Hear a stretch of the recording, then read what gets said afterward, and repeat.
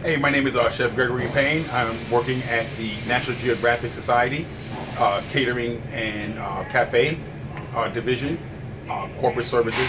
Uh, my funny story for today is working at a restaurant called the Flaming Pit back in Montgomery County, County about 15 years ago. And we were on the line, very busy, doing all type of things, sauteing, and my number two man right next to me saw this very nice looking uh, Russian girl. That's when the Russians just first started coming over, and he got distracted and he was made a turn and we had a bucket right there and he stuck his foot in the bucket and, and he couldn't get his foot out but we couldn't stop work so he was working there with the foot in the bucket